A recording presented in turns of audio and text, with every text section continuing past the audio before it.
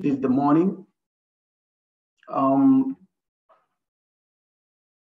today's topic, we're going to be discussing uh, education and leadership, leadership, Leaders for Life syndrome.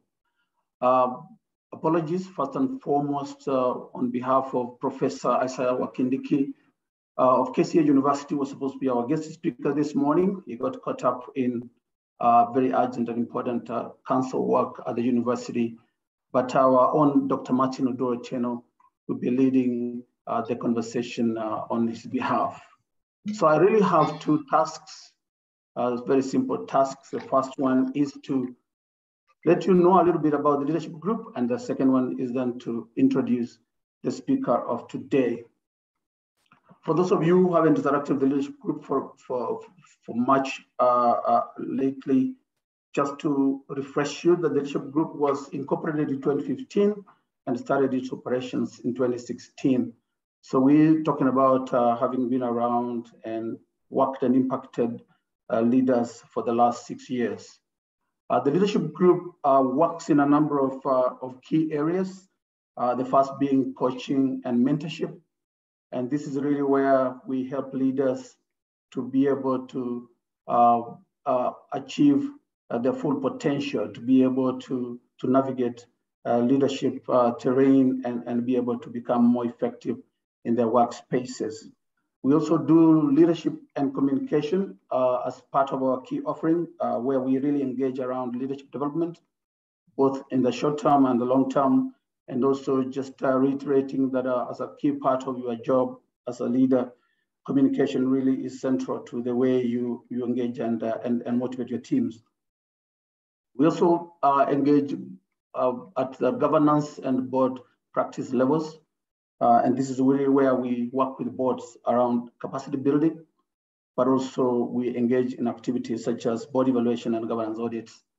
Um, the fourth area where we, we engage again is on strategy as well as uh, business advisory. And among the things we do really is first and foremost helping organizations to, to navigate the process of, of creating and implementing strategies, but also we do projects around that same area. Uh, and organizations that are seeking opinion from a professional standpoint around how they can transform businesses for better performance. Again, we're able to interact and engage on that. Uh, then finally, culture and change management for organizations that are seeking to transform their teams and be able to get better results and, and, and, and much productivity from them through behavior as well as, as change in, in the way they interact with stakeholders. Uh, that's a key part of the work we do. Um, over the past six years, we have uh, engaged with over 70 organizations, uh, impacting individuals in the C-suite and boardrooms that are probably amount to over 1,000.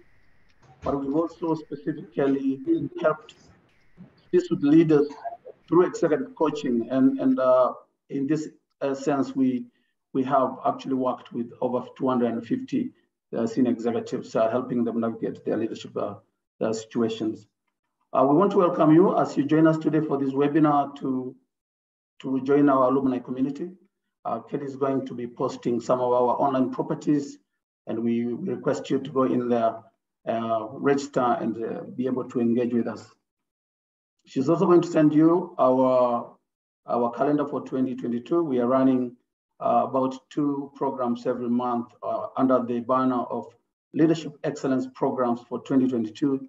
Uh, we have a calendar that runs from last month until end of the year, and uh, we want you to take time and just go in there and see if there's something that you can get from there that can help you. Uh, and, and in, in, any case you find something interesting, just get in touch with us so we can actually find a way to, to work together and, and, and just be able to to assist your, your process. Um, so that's probably about the leadership group. Uh, there is a, we have a website, of course, which uh, you can go in and find a bit more information. Uh, but also some of the documents that Kelly is going to send you will be, give you a bit more background. So let me just go back to the man of the day, uh, our keynote speaker, the gentleman that probably doesn't need a lot of introduction, uh, Dr. Martin Oduor Dr. Martin Oduor Otieno is the founder and the CEO of the leadership group. He's also the director of the leadership group. He founded this as part of his calling to be able to give back to upcoming leaders from his many years of experience leading boardrooms and C-suites. Dr. Martin Oduor Otieno, as you probably all know, is the chairman of EABL, the East African Breweries, uh, the giant of the region in uh, brewing and uh, refreshing. It tells us that uh, their vision is um, uh, uh, Martin will probably remind me, but it's about celebrating life every day and everywhere, and in, probably in every way. And uh, he's also a member of various boards, including BAT, the Standard Bank Group of South Africa, and the Standard Bank of South Africa, which is uh, the father of, of banks like Stanbic. And probably where most of you know Martin a lot more is, is in his time as CEO of KCB, where he, he led the transformation of one of the best uh, banks in the region for over a period of 10 years. And I just want to take this moment to ask all of you to go to your gadgets and, and uh, clap for Martin so that I can welcome him to take over from here so that uh, we can hear what he has to tell us around today's topic of leadership and education, Leaders for Life Syndrome. Can I see claps for Martin? All right, so Martin, without much ado, I want to welcome you to take it over from here.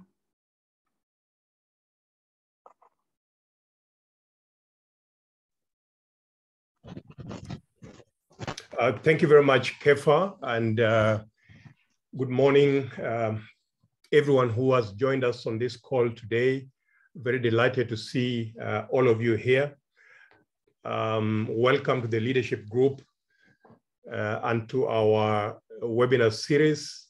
Uh, as Kefas mentioned, we do run this every month around this time of the month. And so uh, feel free to join us on our future webinars as well. Uh, the we keep this to, to a one hour uh, maximum so that you can then continue the rest of your uh, activities for, for, for the day. Uh, as Kefa says, we at the leadership group are all about leadership. Uh, our tagline is growing leaders. And, and, and, and so that is what we're going to be talking about today. Uh, as um, let me just share my screen so that we can uh, and and Kelly do tell me if uh, if it can be seen or not. Uh, let me do that. Um, share. Yeah. Yes, it's we can see. We're okay. Right. Again, as as Kefa said, you know, when we set up for this webinar, we're going to talk about education and leadership, and we're going to be led in this discussion by Professor Isaiah Wakindiki, who is a vice chancellor of uh, of KCA University. He's been recently installed as Vice Chancellor in the last uh, few months. So this was going to be an opportunity for us to get to know him and to get to know more about uh, KCA University as well. Uh, but as Kefa said, you know, uh, we, we can't have him today. And so um, I'm not really an expert in the field of education, and therefore I will not be talking about education to the extent that Professor would have talked about it but certainly the concept of leaders for life is one that uh, uh, is is, is of interest to me as a student of leadership. Uh, and so what I want to explore with you this morning, and I'll be uh, you know, asking you to engage in this conversation, is really around the concept of leaders for life. Uh, issues around when should leaders pass the baton to the next generation of leaders uh, how best should they prepare the ground for that? Um, I was also intrigued over the weekend to read uh, an article in the Sunday Nation, which was written by Sunny Bindra, who a number of you may know. And Sunny was talking about legacy, leadership legacy. And so those are the two subjects that, I, that I'd like to explore uh, this morning uh, and to engage you in exploring that. And again, when we talk about legacy, I'd like us just to look at uh, it from the point of view of uh, what actually is legacy and how do you how do you prepare and execute uh, and secure your leadership legacy now that all of us on this call are leaders uh, in one sense uh, or another. So this is what uh, the subject for this morning uh, is going to be, and I invite you to, uh, to engage with it. we'll have one or two breakout breakout sessions where you can go, we can go into smaller groups and just discuss these two topics and then feedback. But one thing that we assure you is that we'll be out of this place by 12 noon at the top of the hour so that we don't hold you here for too long. Uh, has spoken about who we are, and uh, I think Kelly has already shared with you our program of uh, leadership uh, leadership events for the rest of this year. Um, uh, it's not too late, but actually tomorrow, let me mention that tomorrow we are running a program on a one-day program on uh, board readiness so if there's any of you in the room who want to come into our program tomorrow at, uh, at Kempinski on board readiness, this is one where we talk about how people prepare themselves to assume board positions and how they can become effective as board members. So if you're interested in this, just side chat Kelly and she can then, uh, um, you know, um, get you onto this program that we're running tomorrow. And then, you know, uh, she's also posted in the chat box the rest of this calendar for, uh, for this half year, as well as for uh, the second half of the year, which, which obviously goes up to December. So to kick us off then, uh, I think we're all, you know, we, we, we all do believe that education is important for leadership. Uh, that's why we invest a lot of our time and money and effort in sending our children to schools uh, to, to let them get the best and to prepare for, for future and, and, and for the future in a sense of, of leadership, whether we're leading our own businesses, we're leading uh, in the public, corporate, non-profit worlds. We all believe that education gives us a great foundation for this and that uh, it, it, it, it, it therefore gives us an opportunity to preside over uh, more positive outcomes uh, in the institutions in which we are. And uh, you know research has been done and uh, i don't have it here but certainly we can we can look to uh, outcomes that have been really positive uh, you know whenever we've engaged people uh, in leadership positions who have been you know well well tutored well educated well experienced etc and this is the side that the professor is going to talk about and really talk to us about how therefore education is preparing uh, people for for future leadership positions uh, and, and, and, and so we can come back to that theme uh, later on. Uh, I'm sure we can also think of people who are not as, as well educated, but have also delivered positive, positive outcomes. Um, and, and we can have a conversation about that. But just to move on to the, to the subject of to the subject of, uh, of leadership uh, for, for, for, life, the theme of today's conversation, uh, Leaders for Life syndrome, We've had this conversation in our country here in Kenya. Uh, we've had it in the judiciary. We've had it uh, in, in academia. Uh, this slide that I'm showing here is one where the uh, university professors had gone to, to court to say that uh, you know they need to have a higher retirement age than uh, the rest of the public service, etc. and the court declined to, to, to, to allow that. And if you look at the left side of this, of this, you know, the uh, some of the studies which have been done point to the fact that uh, um, you know 80% of professionals want to stay busy and productive. So after retirement age, which is currently 60 or, or, or 55 or 50, depending on where you work, you know, people still feel that they are very, very productive and they can actually deliver a lot uh, in, the, in, the, in their spheres. 64% uh, say they love their work too much to give it up. Uh, and certainly with the fact that people are living longer uh, these days in general, there's, there's a question to be asked about if you retire at 50, what do you do for the rest of your life? And so th this comes back to this question of leaders for life uh, uh, syndrome. Uh, but those of you who are, you know, in the in the medical field or, or, or, psychology or people who study the brain may also share with us what they think happens to the brain as we go into our twilight years of, uh, you know, 70s, 80s, 90s, and what that does to our leadership. So again, just to sort of say that this, this is a, a subject which is very much uh, alive. Um, you will recall that in our judiciary, again, uh, judges believe that they get better with age, just like, uh, like wine. Uh, and so again, there were court cases in the last couple of years uh, and the retirement age for judges was actually brought down from, I believe it used to be 74, down to 70. Again, begging the same question about leaders for life uh, syndrome.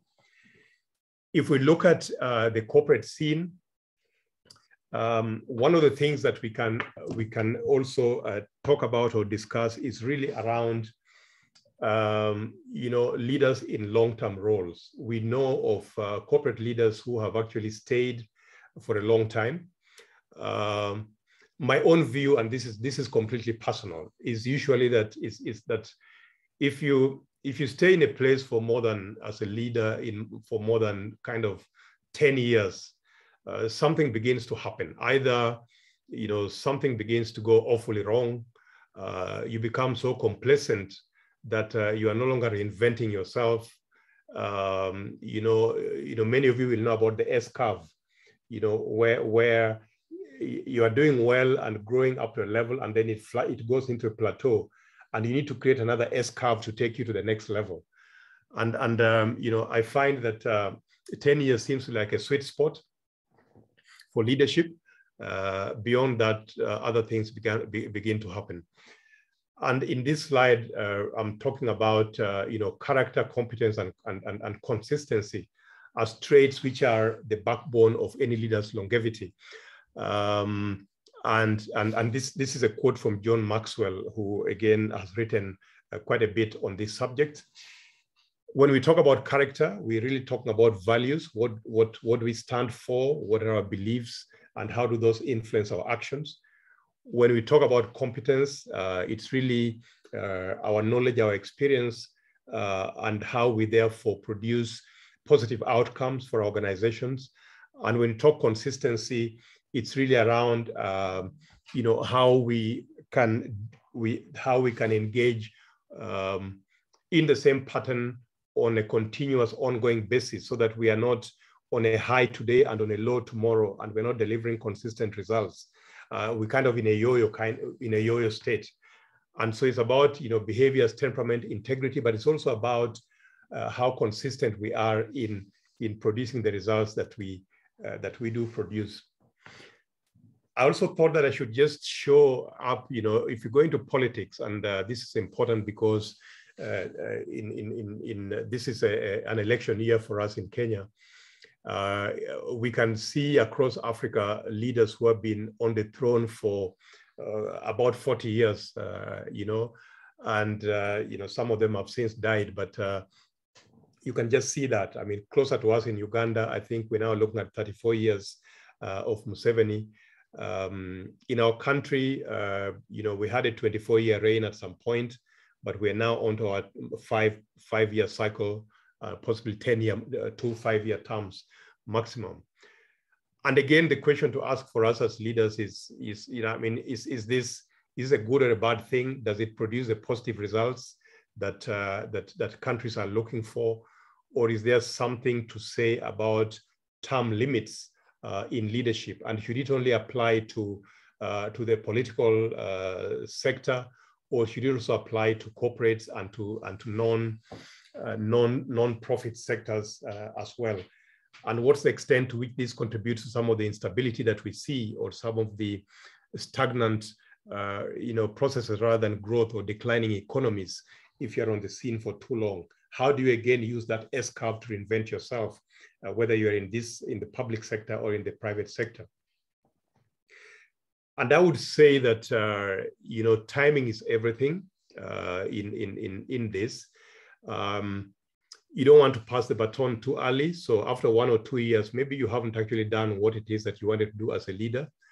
Uh, you don't want to do it too late when you're in when you go in for 20 years, 30 years.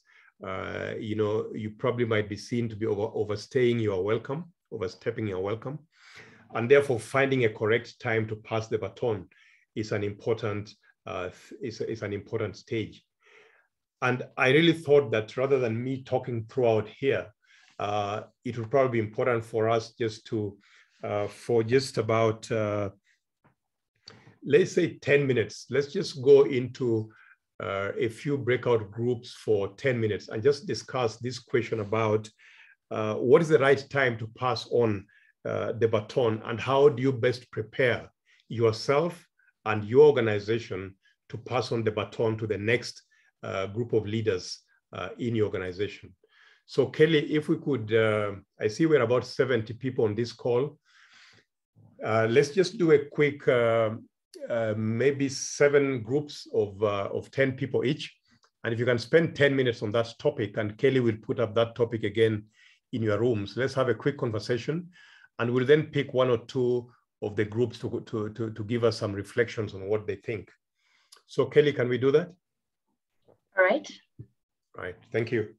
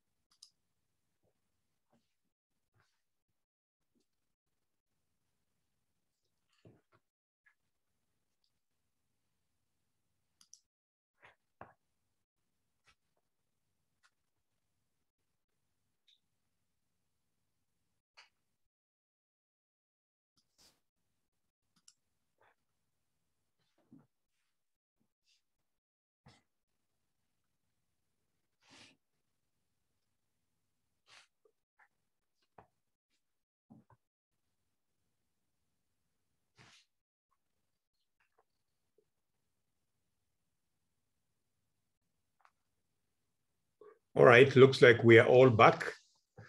So welcome back. Um,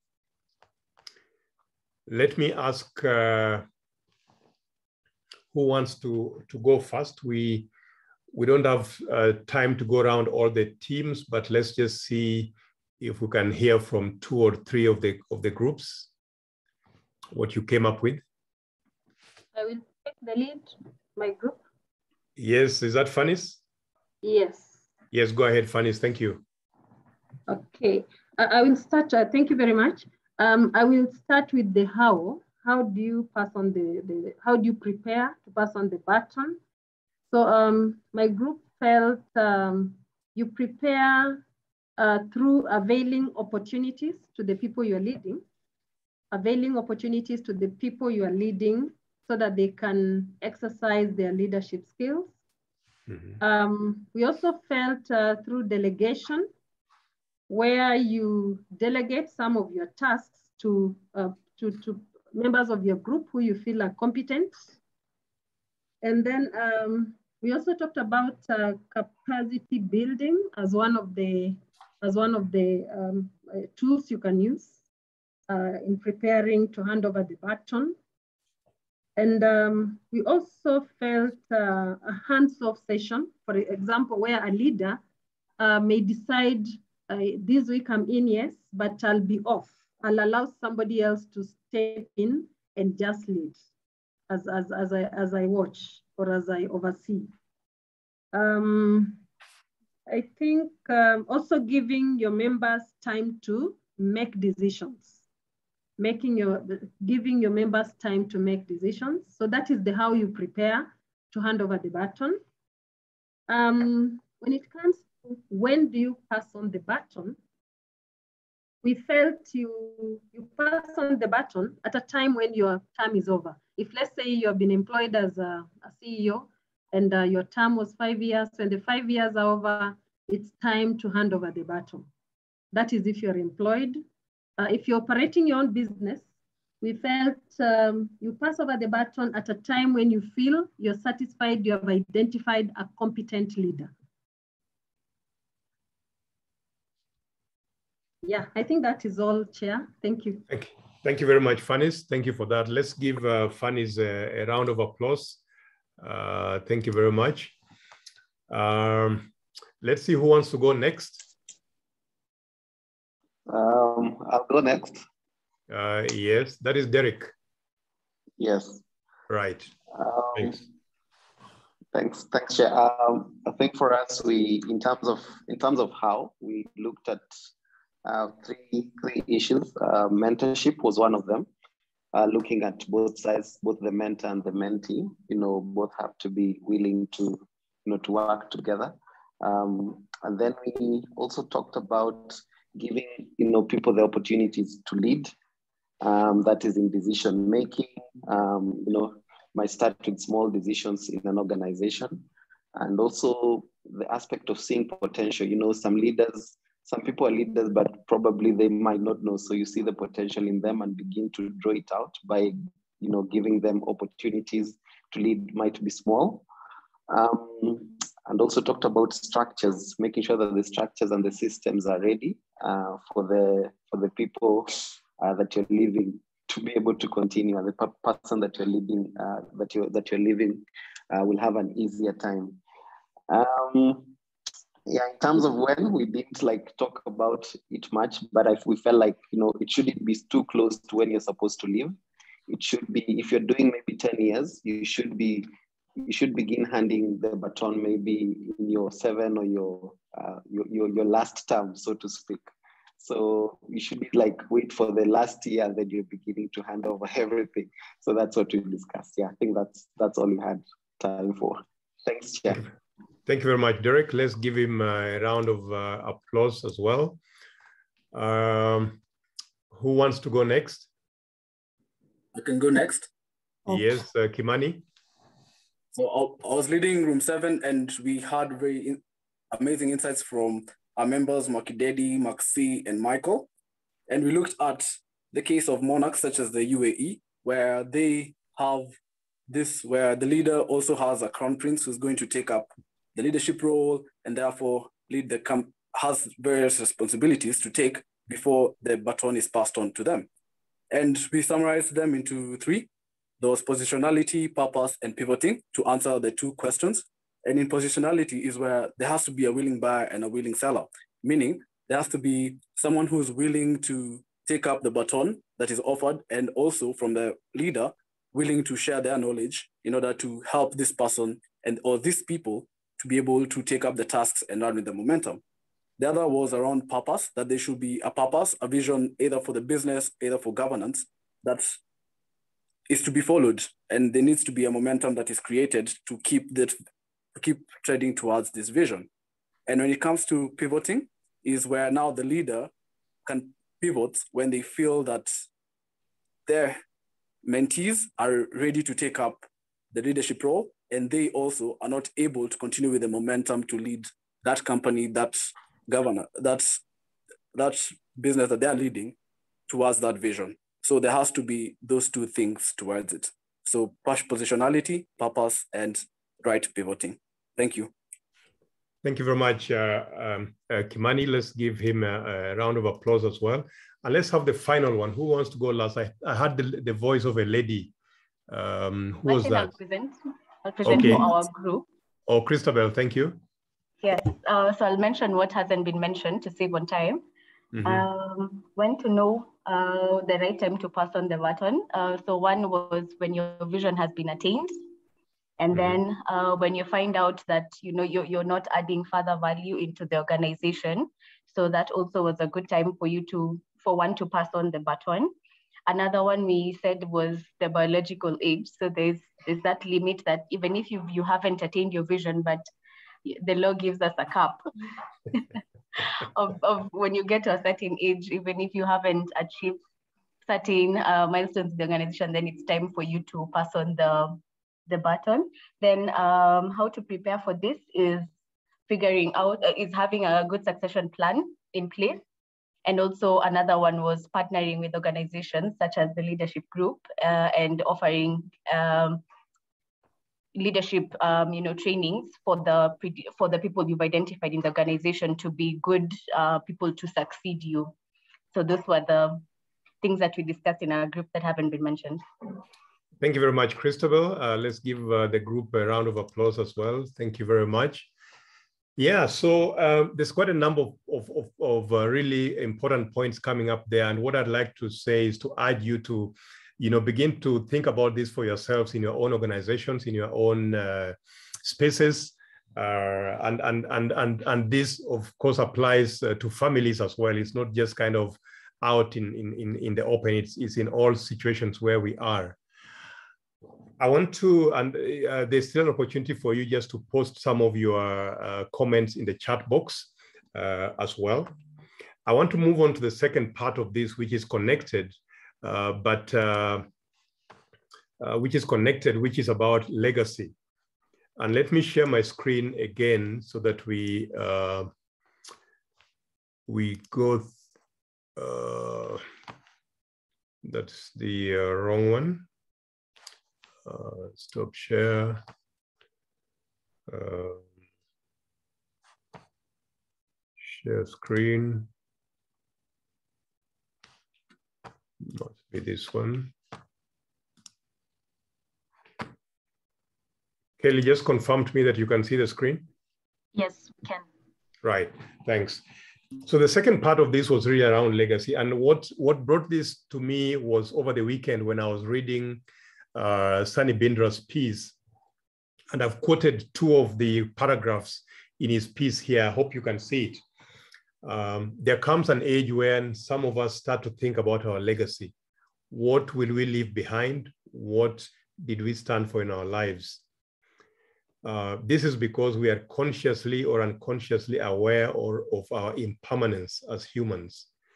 We know we're here briefly and then we are gone. Uh, some of us are desperate to acquire continuity of some sort to be remembered after we have passed on. It is difficult to accept the idea that our lives might amount to nothing in the end. If you didn't read this article, I would actually recommend that you go back to Sunday Nation and you, and, and you see if you can pick it up, February 13th, uh, 2022 by Sunny Bindra. And the next thing that he said was, uh, was this about legacy. The only legacy you will have will be in how well you live your life while you live it. Uh, our aim should be to live most of our days, the days of our lives with grace, kindness, and generosity, to fulfill the roles of our lives um, as partner, parent, worker, leader, community member, creator, citizen, etc., to the best of our abilities. And according to him, he concludes that that right there is our legacy. And when I saw this, it reminded me of uh, the former Chief Justice William Mutunga. I was attending a long time ago, uh, not long time ago, but some years back, he was invited to give a speech. And, and at the end of that speech, somebody asked him, uh, CJ, you are just about to retire. Um, what will your legacy be? And CJ Mutunga looked at the crowd and said, actually, I don't think about legacy uh, myself. What I do is I wake up every day, I go to work, and I give it my very, very best. Each and every day, uh, I make sure that I give each of the hours that I have my very, very best. And I go home and I, uh, I continue that. And legacy I will leave legacy to historians to write about.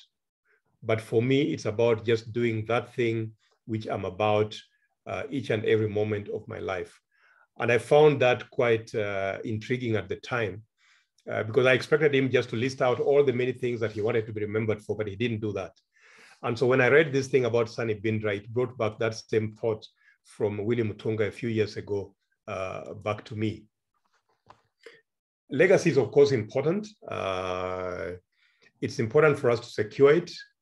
Um, it's about learning from our past experiences. It's about living in the moment. What is it that we are doing every time uh, that, that we are breathing uh, and building for the future?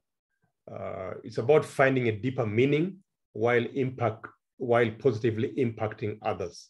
So as we think about legacy, these are some of the things that that that that, that pop up um, it expands with every new experience. Uh, we act, we inspire other people, uh, and, and through that, our legacy can, can then live on. There will be certain kind of physical things that somebody has done that they're remembered for, but actually it's about what we do every moment uh, of our lives. And so uh, again, you know, just thinking about where we started, which was education is really important for us as leaders uh, to give our best. Uh, there comes a time to hand over the baton. But as we do that, we're also thinking about what is it that, uh, that, that we are leaving behind? What is it that we are being remembered for? Uh, what is it that's, that's been important? How have we lived our lives? Uh, and I want to take a pause there and again, just uh, uh, invite a few thoughts about leadership legacy. when you think about leadership legacy in your own space, what comes to mind for you?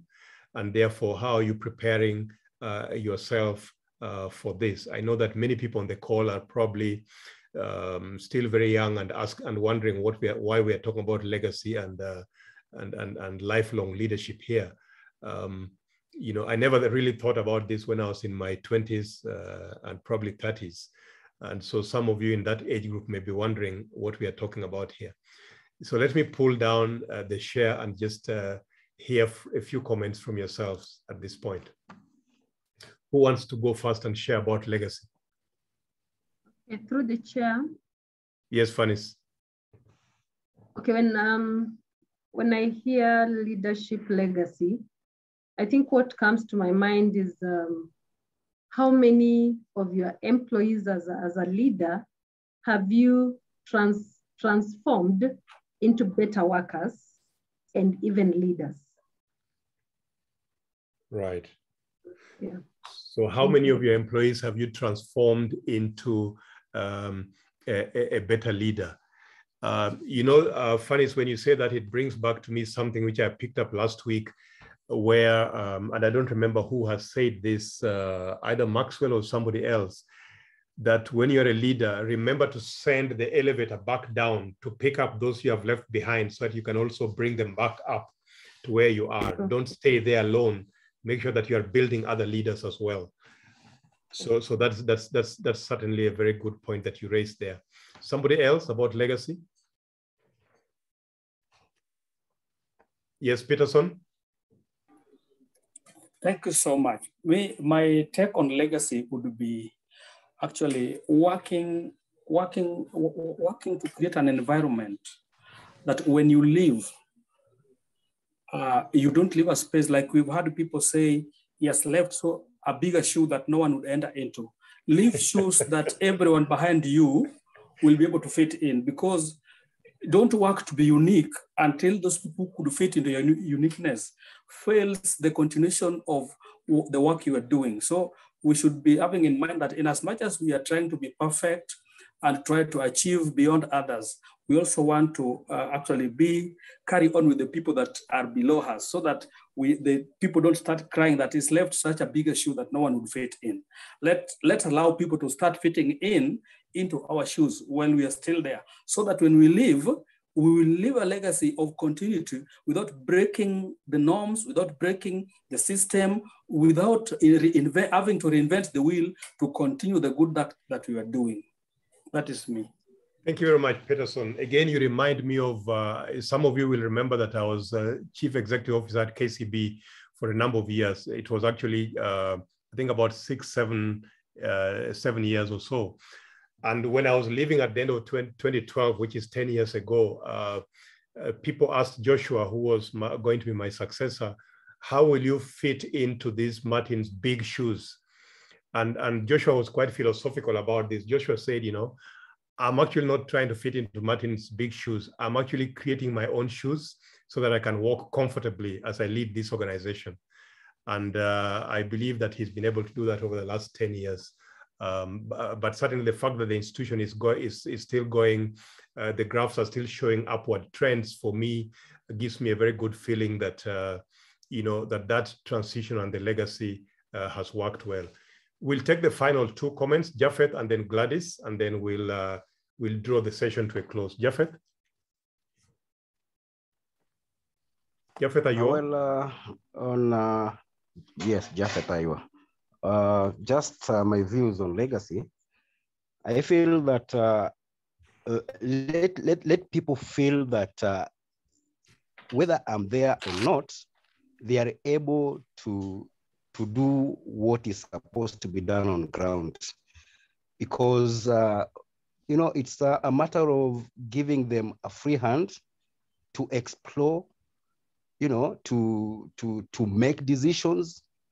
And uh, that is something which they will remember me with because uh, let me not cling on the knowledge I have, but to share whatever I have to make uh, everything uh, to, to a success.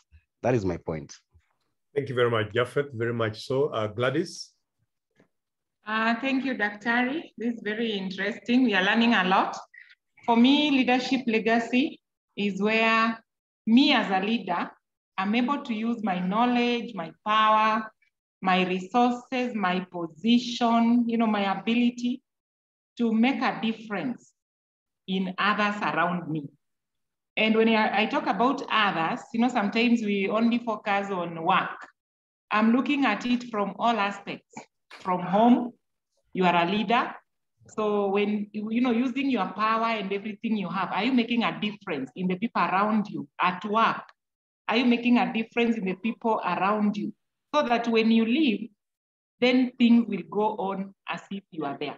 So at least you've left people empowered, you've left people, you know, well placed to move on. So for me, it is actually all of us. So sometimes we go chasing up, uh, after the legacy itself, but we just need to do things right and the legacy will remain. So whether it is homework, community, in church, wherever you are, what difference are you making by empowering people and making them stand even when you are not there. Thank you. Uh, thank you very much. Uh, thank you very much, Gladys, for, for those comments. Uh, let me just uh, close off uh, the session by, you know, Kefa picked up this uh, slide yesterday from, from somewhere. Um, you know, and, and what we've been discussing is certainly talking to impact uh, you know, how much you've improved things. It's talking to, uh, to breadth, uh, how far your reach has extended. So the people that you've worked with and you've impacted, um, how far into the future, whatever you have built will continue, and uh, how much that uh, those who follow you are able to build the things that have been created during your time inside there.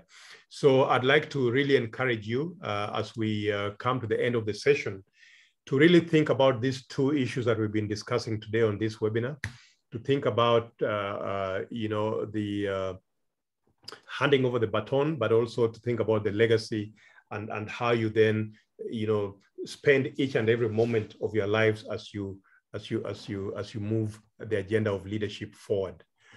I said that we are going to release you by 12 noon, and I don't want to break my promises. Um, unfortunately, we don't have uh, time for other comments or questions, but I hope that you will join us for our next uh, webinar where we can then continue the conversations on uh, other leadership topics uh, of the day. I'd like to hand back over to Kefa so that he can then conclude the session for us. Back to you, Kefa. Uh, thank you very much, Martin, uh, for a great uh, facilitation, but thank you as well, all our guests for being very lively and engaged. And we do hope that uh, this session has added value to your leadership journey and that you can pick up and apply a couple of things here as you create your legacy and also plan to let others uh, take over from you when you feel the time for you to step aside is here. We want to thank you and wish you a very, very good day. We shall be sending you emails, as Martin has said, around the next uh, webinar. Uh, feel free as well to go to our online properties and be able to register for the next webinar. The dates will be, will be sharing those details. Thank you very much and uh, do enjoy the rest of the week.